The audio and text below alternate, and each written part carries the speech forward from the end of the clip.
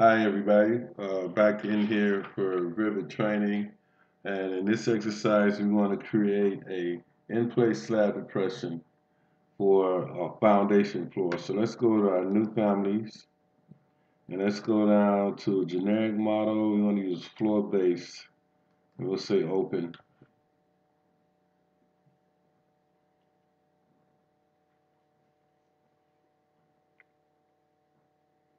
as this opens up, now we're good, we're in here. So we want the first thing we want to do here, we want to file.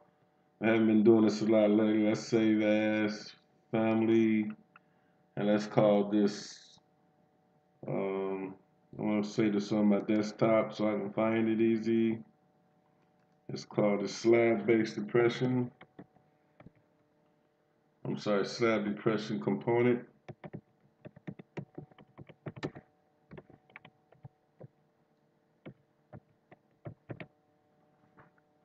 and we'll say options. We'll want that to be one unless you want to do some different variations and we'll save it.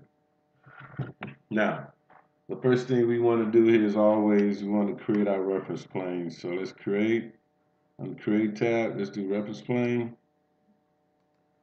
Let's put a plane through there. One there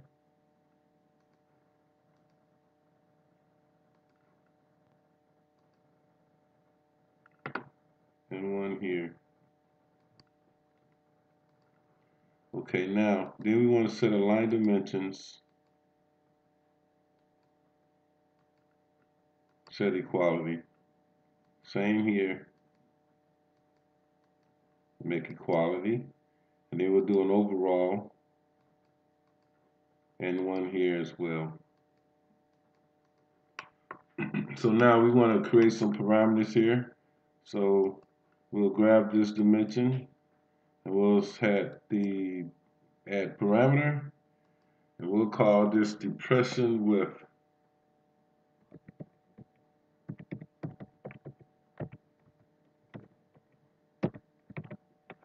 And we want to make this an instance parameter. We'll say OK.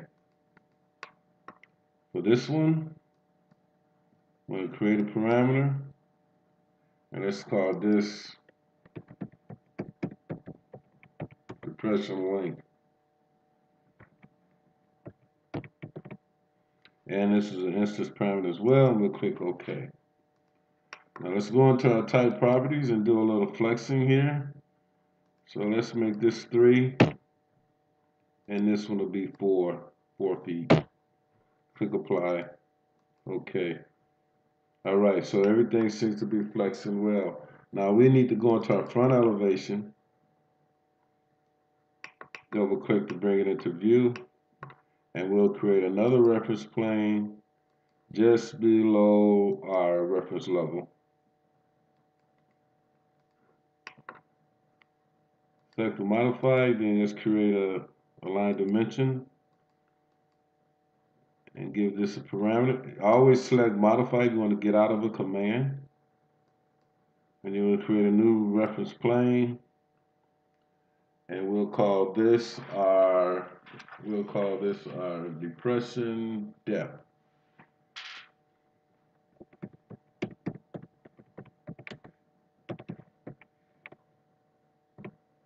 And this will be an instance parameter as well. We'll select OK.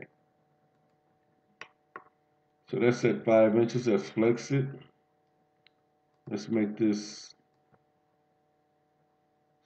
let's make it six inches. Now let's make it three. It shouldn't be, we won't, we, I don't think you need to go that deep, but the good thing is these are instance parameters and they can go any depth you want. So that's flex as well. We're looking good. So now let's go back into our reference level. Now, once we're on our reference level, we want to go to Create tab. We want to create an extrusion, but this time we want to create a void extrusion. So select that void extrusion. Then go to Pick Line, and we want to have this lock setting set. And we'll just so select this line. And we want to clean up the um, edges. So select the trim to corner It's always select the lines you want to keep. And let's finish it. Okay, now let's go back into our front elevation. And as you can see, we need to align this to this reference plane. Let's just simply align and lock. Now let's go back into our 3D view. And let's change this to a shaded view. Now it's shaded, as you can see, there's our void, but we need to cut the geometry. So let's select this base and select the geometry. And there's our depression. Very simple family. Now let's test this guy out. So let's go into our file. Let's do a new project. And let's use the structural template. We'll say OK.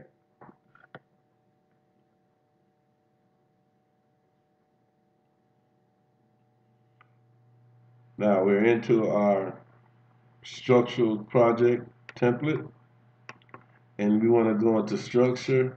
Since we made this a floor based structure let's go to slab. And let's create a just a rectangular slab representative of a floor and click finish. Now there's our floor slab. So we can simply go back into our family that we created slab depression.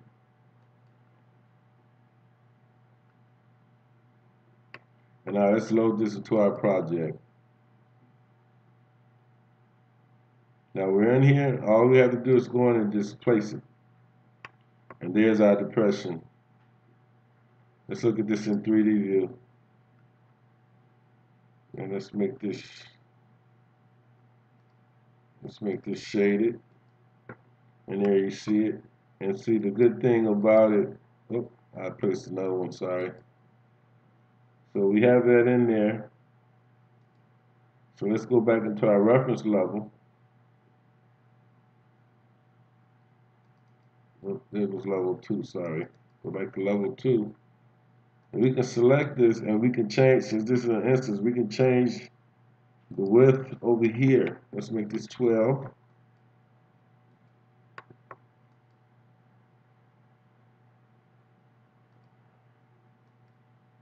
Or we can use our grip handles. And let's look at this in 3D. So this is basically how you do this. And let's try the depth now. Let's set the depth a little differently. We need to tab and find it.